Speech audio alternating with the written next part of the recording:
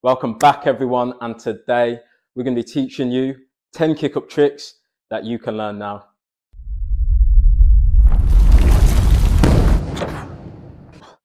Alright, let's go. Foot stall. When the ball is falling, you should lower your leg to cushion it and tilt your toes upwards to trap the ball between your foot and shin. By pointing your toes upwards, you create a secure place for the ball to rest. You can then easily flick the ball back up and continue juggling. It's crucial to learn the foot stall since it paves the way for more complex freestyle tricks, so make sure to master this skill to advance to harder tricks. Thigh bounce. The thigh bounce is a move that is both simple and impressive. To execute this move, start by throwing the ball up just in front of you, create a 90 degree angle at the knee while slightly bending your standing leg. As the ball approaches your leg, extend your leg in a snapping motion like a cobra to cradle the ball briefly, then retract your leg in the same motion so that the ball pops back up. The thigh bounce is a valuable skill to have in your arsenal as it requires a great deal of precision. To find the right spot just above your knee, practice by placing the ball on your knee with your hand and create that snapping motion to make the ball pop back up. Around the world. To perform the around the world, you need to make contact with the ball and then rotate your foot 360 degrees around the ball before making contact with it again in the same spot. To practice, try juggling the ball while keeping it close to the ground, no higher than your knee. When you make contact with the ball, swiftly move your foot around it and make contact again as quickly as possible. You can move your foot either inwards to outwards or outwards to inwards, depending on which direction you feel more comfortable with. And when you've really mastered the skill, you can apply the same principles and perform it off the floor. To really understand the principles of this trick, put the football down and practice the motion that it takes to go both inside to outside and outside to inside. Toe bounce. When attempting the toe bounce, you plant one foot down and slightly raise your toe to create a surface for the ball to bounce off. As you raise your toe and the ball makes contact with it, you are set to continue juggling. It's important to get the positioning right and have the toe right underneath the ball as it's coming down to provide a smooth bounce.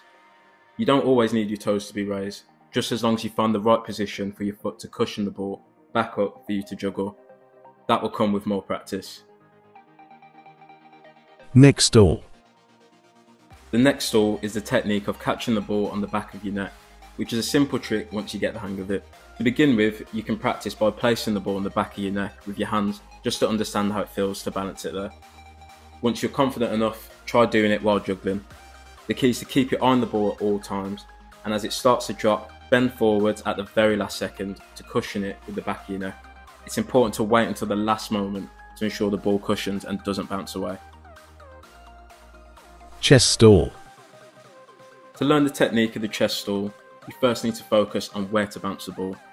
You want to aim for the side of your chest, and it doesn't matter which side you choose as both sides can be used.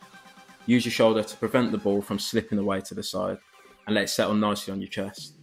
To practice, throw the ball in the air with some height and as it bounces up, move under the ball to catch it with low momentum. Remember, slightly bend your knees as this will increase your flexibility and make you feel more comfortable whilst cradling the ball on your chest.